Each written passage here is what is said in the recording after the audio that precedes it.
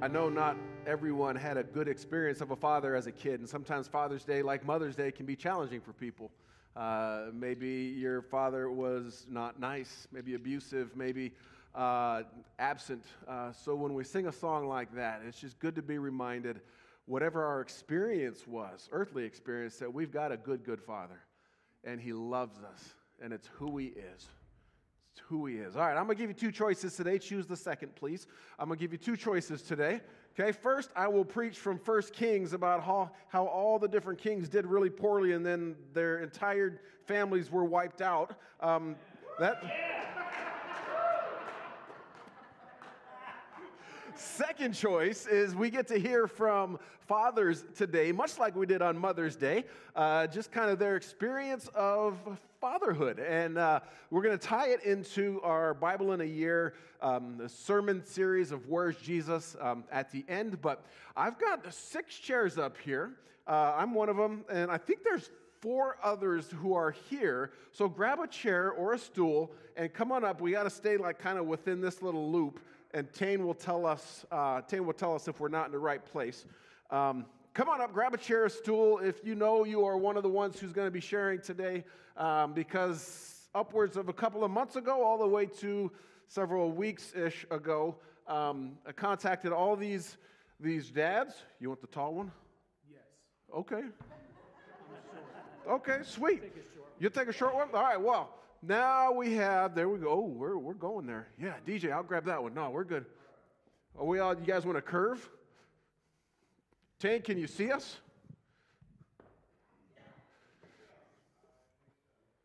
Well, now I feel like I'm kind of, here, now I feel like, all right, perfect.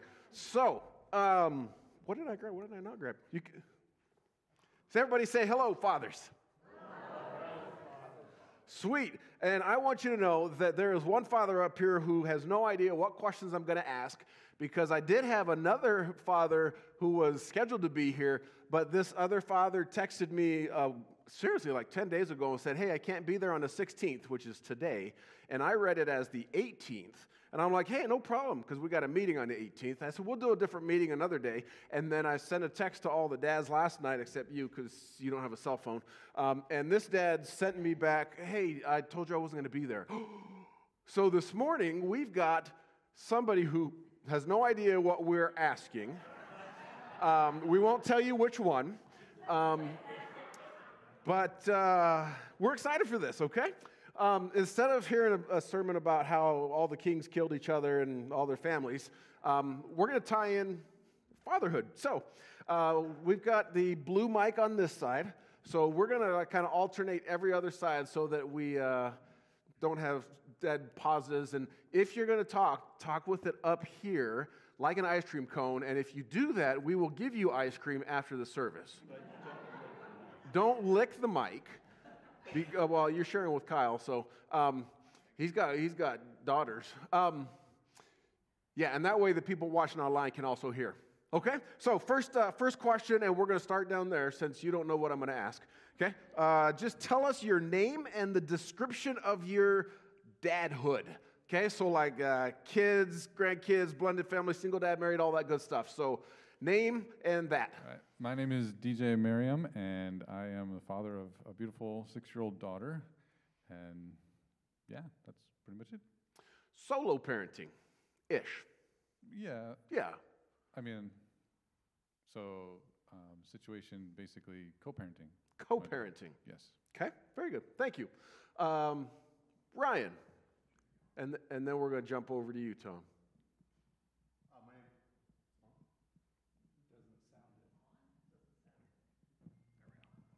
Now it's on. Now it's on. All right. Uh, I should know that since I used to work audio here. Uh, my name is Ryan Chrome, and as I just said, I used to attend church here. Uh, now I attend with my, my wife, Stacy, up at Summit. Uh, but uh, I became a stepfather a little over a year and a half ago, so newly into fatherhood. Yeah, blended family. Very good. Tom? It's Tommy to T- you. Tommy, sorry. My bad. That's right. He. Jimmy, you should know that. Uh, you're right, Tommy. My bad. Tommy, tell us who you are. Tom, Tom Knutson. Uh, I'm a retired many, many years ago. Uh, I have multiple families. I have three living children, two, two girls and one boy, four grandchildren, one great grand, which, which I've only seen once, lives in Arkansas. Uh, in my in my fatherhood, early, when the kids were small, I was working about 500 hours a week, if anybody knows about that type of thing. So I didn't get to see him that much, except at night. Well, hey, Tommy, you can't talk too much yet. We got other questions that you're going to be able to answer all that for. Well, I, I don't know. You I- can skip me, you know. I didn't mean to cut you off, but I didn't mean to do it in a, in a, a mean way. Um, so we're going to hear the rest of that as, as we keep going. Kyle? I'm Kyle, um, and I run Mermaid Security for four beautiful girls. Very good. And And, and I'm the, uh, I'm the one that doesn't know what the questions are. Um, but I'm Dan McElroy, and I've got two grown kids, and um, that's it. That that's was the it. question, that's right? it. But um, since you have a mic and since you are punting on every question, I'm not even going to give you time to think about this first one. What's your favorite part about being a dad? it's sharing myself with, with my kids. That's, Hmm. that's what I like the best. Very good. Good answer. Tom? Tommy? Favorite gonna part about being get, a dad? Get to finish now? Yep, get to finish now. Oh, Whether you're answering the question or not. I've, where was I? You're working 500 hours a week and about to tell us the favorite part of being a dad when you were able to be around to be a dad. Right. My, I missed my kids uh, growing up, honestly. It, it was very difficult on me, but when, uh, when I did get time and quit my three jobs that I was working, I was a chief pharmacist for a hospital and for a clinic and for a nursing home, so I was running all the time a 24 hour call and somehow the sheriff got my name too, so he, he called me quite a bit. Uh, but I missed the younger years of my kids until they got to be teenagers. Then I had more time, and I put them to work. Took some out. They were delivering prescriptions for me, which, which if, which if you know how that that goes, that's you know a 16-year-old kid with the keys to the car. And drugs? and We do know how that goes these days.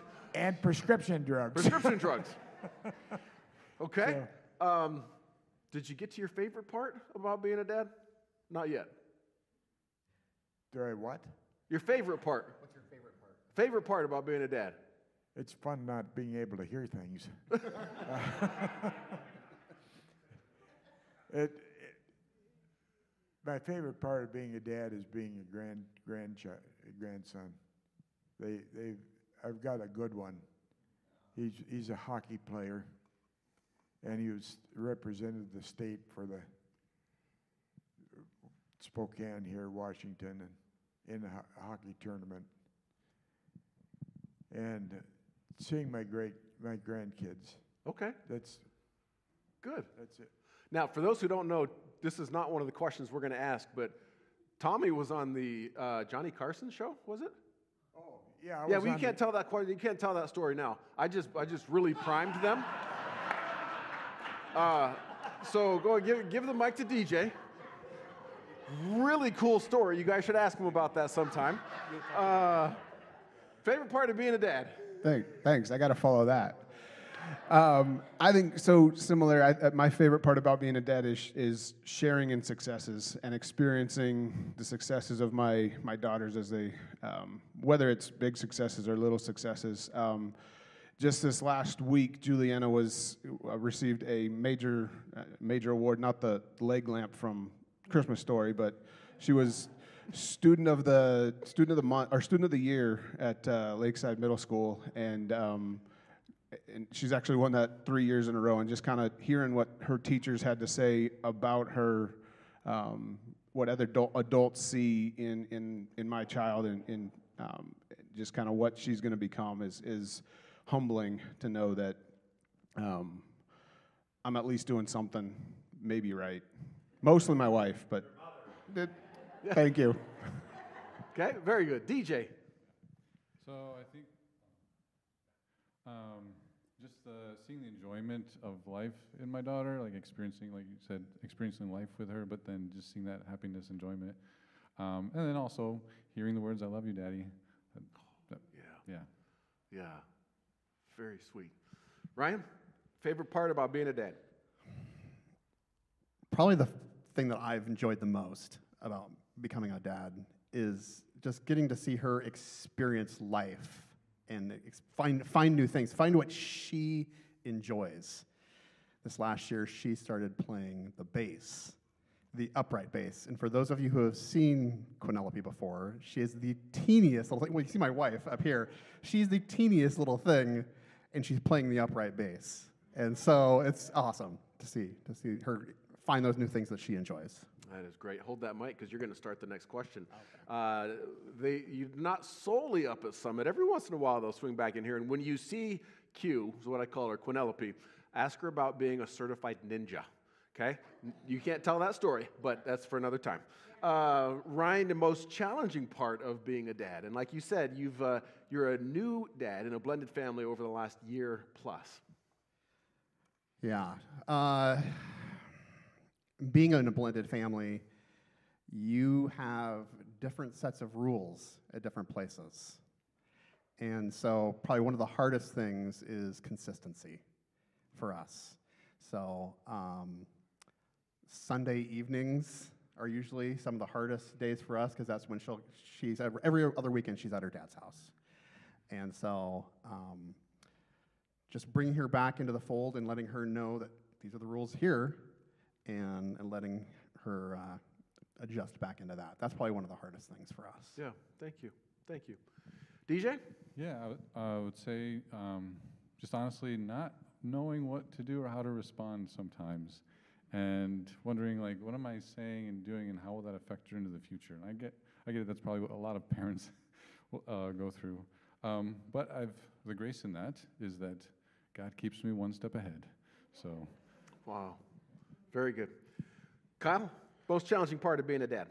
I could take the cop out answer and say having a teenage daughter, but I'll, I'll pass on that one and say that um, uh, right now I'm going through my career and um, I work full time. I do uh, reserves on the weekend, um, one weekend a month, and um, I think for me it's it's missing out on missing out on things, um, even from like the the mundane things like Amazon box forts, which are the new blanket forts um, to soccer matches and um, other school activities. I think that's kind of the big thing is is knowing knowing that I've got a, a great partner, a great wife um, who's there for those things makes it easier, but it's still hard to to know that I'm missing out on those things.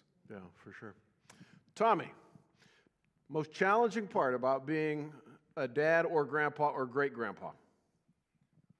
Well, the great grandpa is I don't get to see her.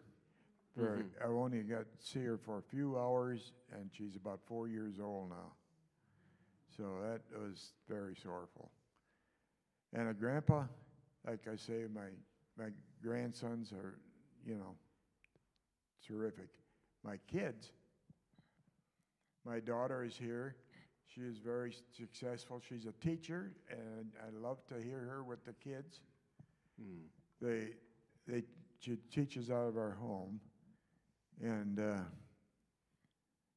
just does a wonderful job. They love her and she loves them. And my other daughter, who, who's uh, pretty outgoing, and she just got back from New York, at, or was it Washington, D.C., that was, she's the head of the realtors of Washington. And my one son is is uh, works for Avista, and he uh, is in. He's an electrical engineer, and he's he, very proud of the way these kids all went through college, and all got advanced degrees and everything. And, and he's in charge of about four or five of the of the counties around here. So Wow. They've all done well, and I'm proud of every one of them and my grandkids. Thank you. Dan, most challenging part of being a dad? Um, well, it kind of goes hand in hand with, with the best part, which is sharing myself, and it's um, admitting when I'm wrong. Wow. What you what you're seeing is two different. Uh, when we when we set up this Mother's Day panel and and Father's Day panel, we knew the moms could talk because uh, traditionally women talk more than men. Um, but we're we're seeing some of both this time, short answers and longer answers, which is so good. Um, prayers and hopes you've had for your kids, and I'm gonna not make you go first this time. DJ, prayers and hopes you've you've had for your daughter um, along the process, Uh, well, the ones or, I or whatever pre- question I planned- initially sent you. I planned my answer to be, um, I think the yeah to that she would know Jesus, that she would love Him and follow Him. Um, but now I see like um, hope for a family, um, good family. So yeah, very good. You want to jump into that one, or you want to you want to think? Okay, prayers or hopes that you had for your kids. Um, some of them have been, you know, as, as our kids have gone through various health related things, um, you know, just praying them through those situations. Um, and then just as they, as they've planned their futures, you know, school and college and things like that, just praying for them to make good choices along those ways and, and just praying for them when they're away from my direct supervision or whatever, like I really do any of that kind of stuff. But um, praying for them when they're away from me and, um, and just praying for their future, praying for, um, uh, for them to develop the kind of relationship with God that, um, that He is drawing them into. So. Very good. Tom, any specific prayers or hopes for your kids, grandkids, great grandkids? Yes. they uh, they exceeded my expectations actually, Great. And they are all Christians and go to church. My kids are, are lovely. In fact, we just got back from a large church meeting yesterday for, with, and uh, there was pastors from all over the country that came for this for Jerry Foster. I don't know if you know Jerry, but he was the head of the Bible Bible school here in town, Okay. And he passed away here a while ago. So So your kids, grandkids, great grandkids are already uh, exceeding your hopes and the prayers that you've prayed over the years. well, all except one. You know, she's only four years old, and she's gonna get. Wasn't sure where that one was going. Thank you. Kyle, prayers and hopes for your daughters. So I had to uh, write this down. I want to make sure I get it right because I, I did. I, I mean, I, I do the nightly prayers with my girls, um, but I think my my prayers uh, for them is that they grow up to love Jesus and to help people. Um, and and I, I know they will. I, I I know they're acting that out and living that out. Um, but I, I just that's that is absolutely my my boiled down prayer for them. Yeah, good. And Ryan, I think you're the you haven't answered this one, right? No. Uh, that she truly gets to learn and know who the person of Christ is. And, and, that, and that she treats people that way. Yeah. I think that's the most important thing here. I mean, it's one thing to know Christ, but if you're not treating people on earth like Christ would, then you've missed the boat a little bit there. Very good. Thank you. You have the mic. So, this is uh, Father's Day number two for you, right? Correct.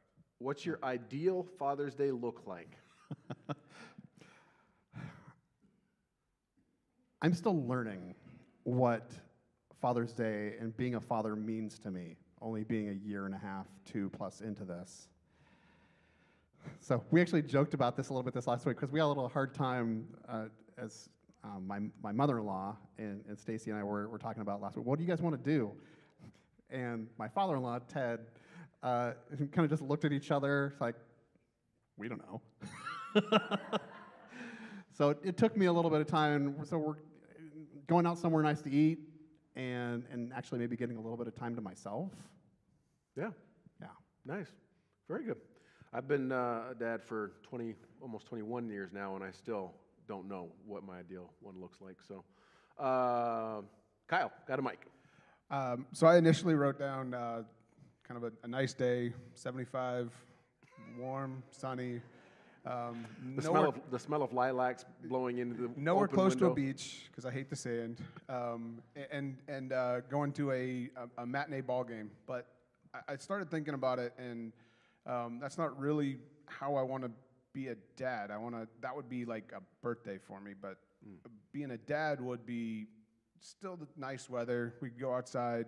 Um, playing games with the girls, um, whether it's whether it's getting beaten cribbage by Sadie, or um, or, or building Lego with uh, with the other girls, or, or, or Sadie too. She likes Legos, um, but just just investing and, and doing that time with the girls. Um, I think that's that that it changed my mentality um, just in the in the in thinking about what would be a great Father's Day for me. Okay, very good.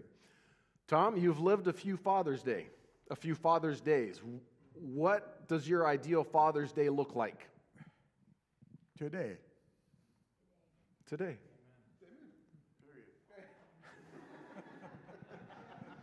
Yeah, feel free to pass the mic on to DJ. All right. No, he's like, nope, I got more. since you gave me the phone, I'm gonna.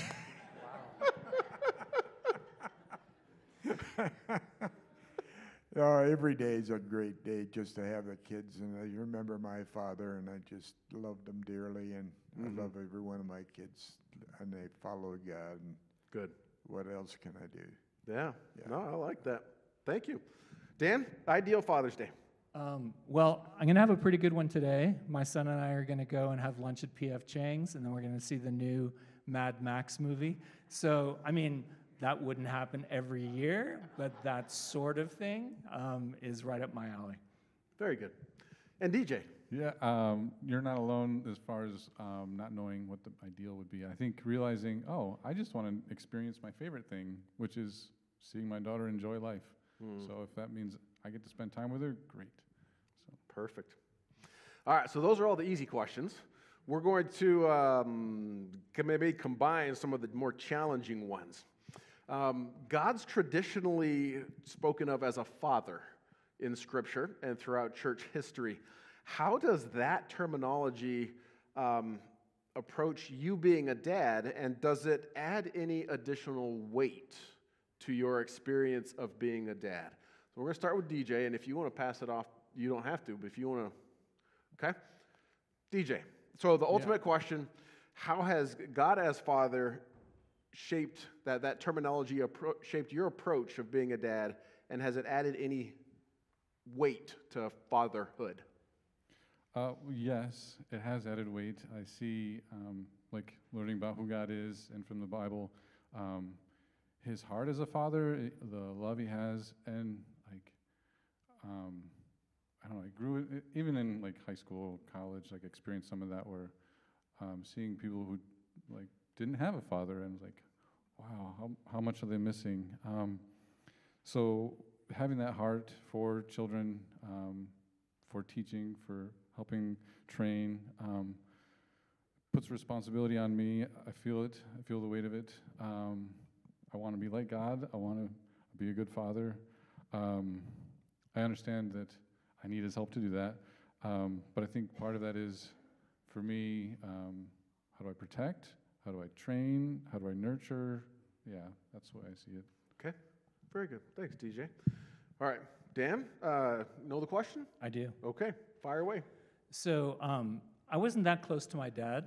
Um, I came to faith as a high school student um, at the age of 15, and um, through through my youth group and through my church, um, developed a lot of great relationships with with men that I would consider mentors and father figures for me, and.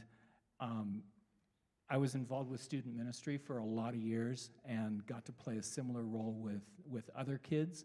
And so I had a lot of kind of preview to fatherhood before I was married and had kids. And so um, having that model and, and, and seeing it lived out by other people, and then having the opportunity to kind of practice before it was kids that I was fully responsible for molding um, was, was a really good thing. So I don't know that I'd see it as a, as a weight. I certainly see it as a responsibility. Um, but there's, there's really almost a weight lifted by knowing that I, I have a Heavenly Father that I can use as a, a model, and as well as the men in my life that have served as, as mentors to me along the way. So that's Okay. me. Very good. Tom, God as Father, knowing that terminology, has that affected how you fathered? I hope so. Uh, it uh, has been several times in our life when when tragedy hits, you know, and it, if it wasn't for our Father in heaven, I probably wouldn't have made it through. Mm-hmm. You know, it's just one of those things. We've as you get older, you'll you'll, you people understand that, and. Uh, they rely on God more than you know. So Yeah, very good. Very good. Kyle, Uh, there, there's a lot to live up to. Um, and um, as we sang, uh, um, God is a good, good father. Um, and I, I try to, I try to be that. I'm, I, I like to think I'm an okay. like, uh, I mean, God is good, and I- I'm just trying to even remotely shine through a little bit on that. yeah, good. Thank you. Ryan? Yeah, as I reflect on God as my father and, and how, how, what I need to do to kind of live up to what that is, there's a lot there. There's a lot to unpack. But as long as I'm using that as my example, I think that's what I have to rely on. Is, I keep coming back to that. That as long as that's the framework and that's the, the what I'm trying to use when I'm parenting and fathering her, um, that's what that's. Is there a lot to live up to there? Yeah, most definitely, for sure. Uh, but uh, but also I know my uh, godly Father gives me grace, and so that's what I I try to do that same thing and impart upon that uh, that you know she's still figuring things out, so I got to make sure that I'm using the the things that he's modeled for me. I'm doing the same thing. I'm modeling exactly how he's fathering me, doing the same thing to her. Very good. Very good.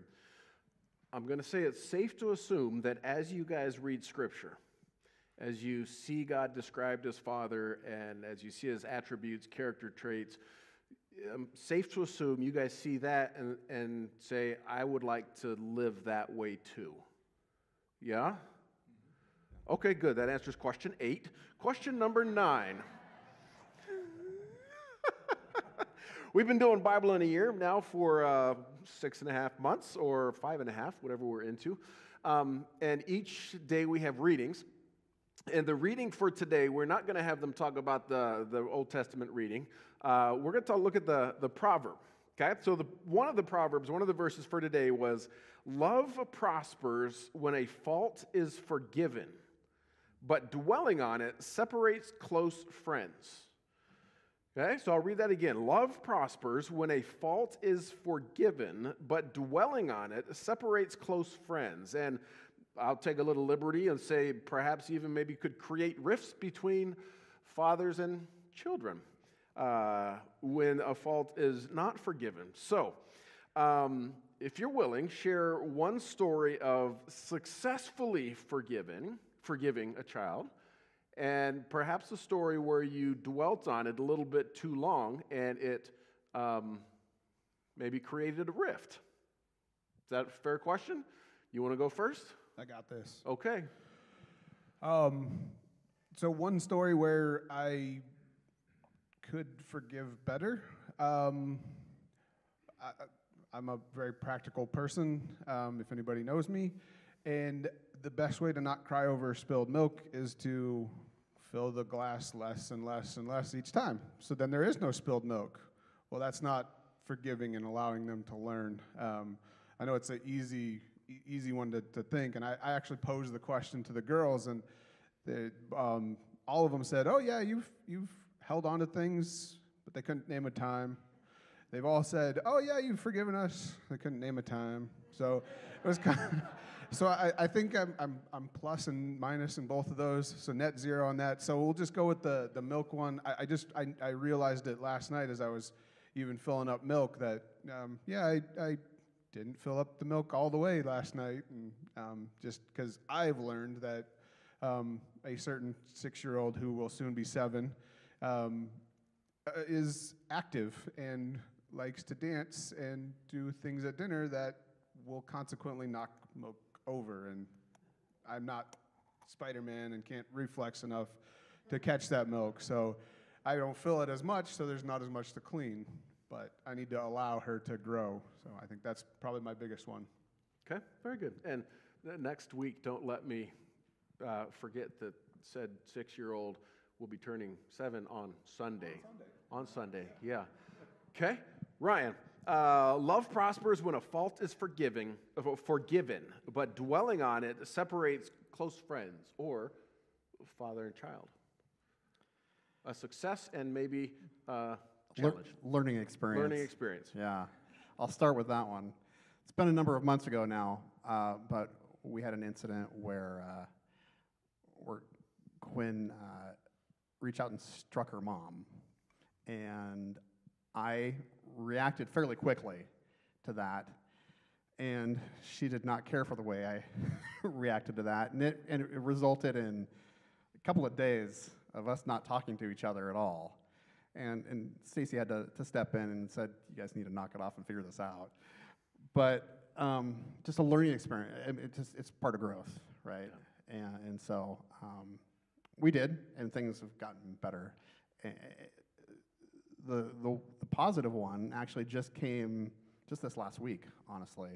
Um, we had a we had a bit of a learning experience. Something happened where she she did something she wasn't supposed to, and um, my office is downstairs, and uh, she came down without being asked. Uh, I didn't find out that she hadn't been asked until later on. Stacy told me, "Oh, no, I was unaware that she did this," but she came down and, and, and apologized to me for her actions. Wow. So I was like, "Okay, maybe things are starting to plug in a little bit." So Wow. yeah.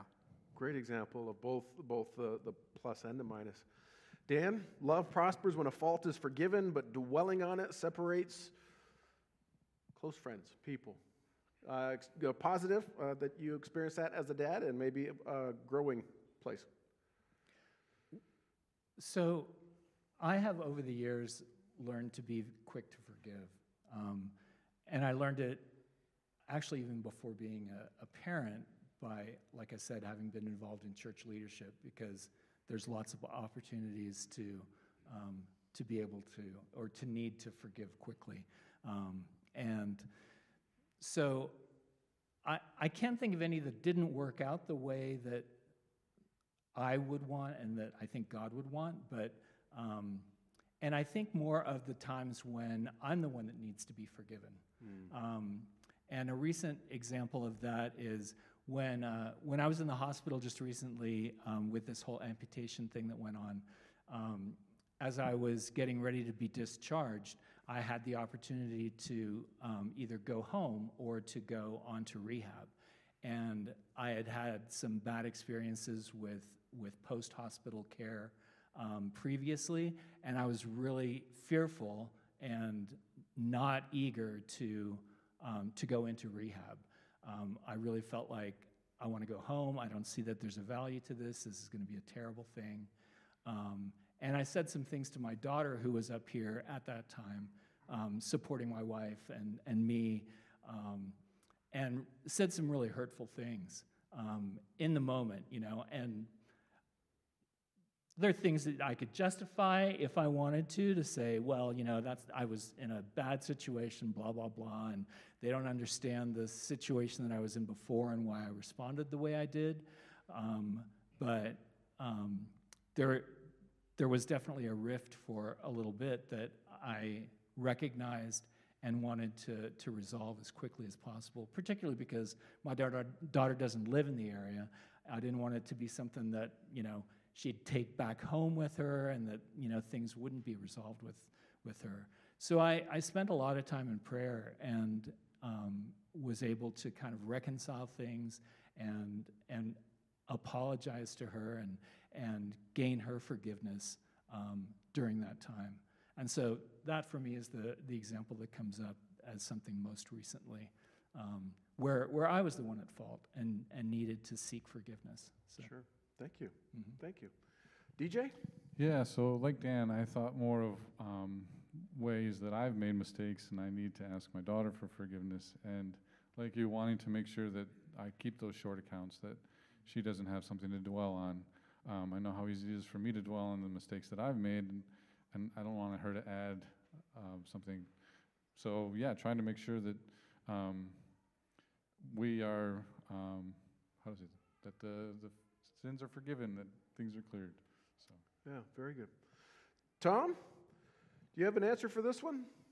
Yeah, I usually say something wrong. it, it's, I start out right, and it, it doesn't end up right. So love, love prospers when a fault is forgiven, uh, but dwelling on it separates close friends.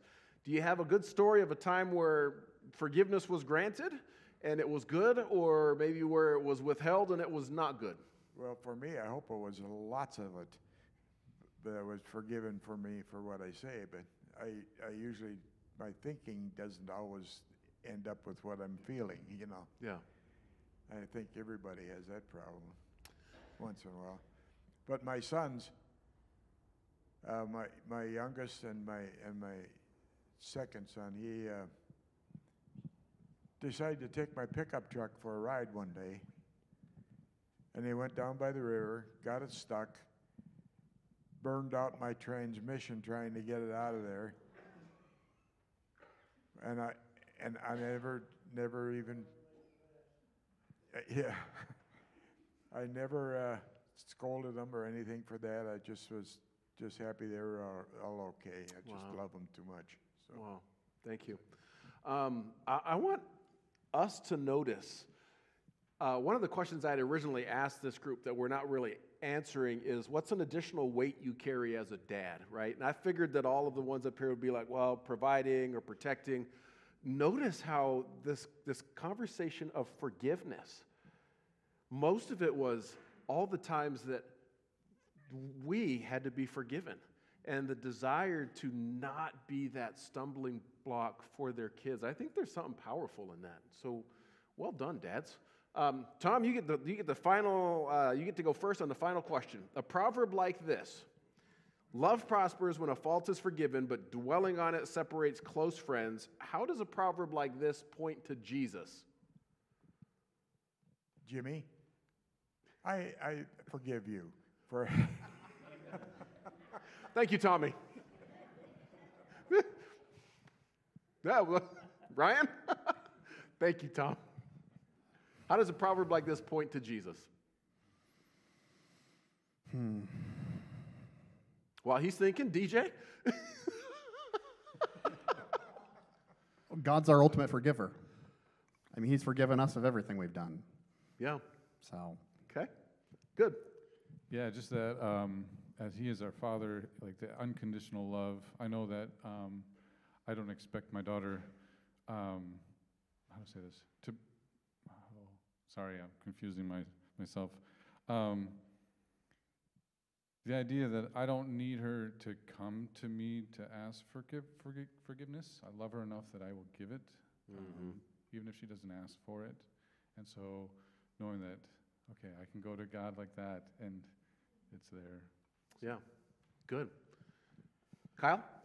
Uh, I I have uh, on my notes. It was real easy this time. Uh, Jesus forgives, um, and I could mic drop there. But it, throughout his entire ministry, Jesus continually forgave. It was everything. Everything he did was showing love by by forgiving. You know, and and fulfilling the prophecies to bring Israel back to, to, to God and, and the Gentiles back to God and bringing people back to God Jesus forgives. And, and with his last breath, Jesus forgave. I mean, it, it, this one was, you, you said four easy questions, but this one was easy for me um, because Jesus is just the example of forgiveness. Very good. Very good. And Dan, anything else? Um, yeah, I. Can you read the verse one more time? Yep. Uh, love prospers when a fault is forgiving, forgiven, but dwelling on it separates close friends. So it, it made me think of the fact that God really desires community with us and that his forgiveness is driven by a, a desire to restore community with us. And so that's where I see Jesus in, in Yeah. this verse is he was willing to do everything to allow us to be in community with him. Wow, fantastic. Fantastic.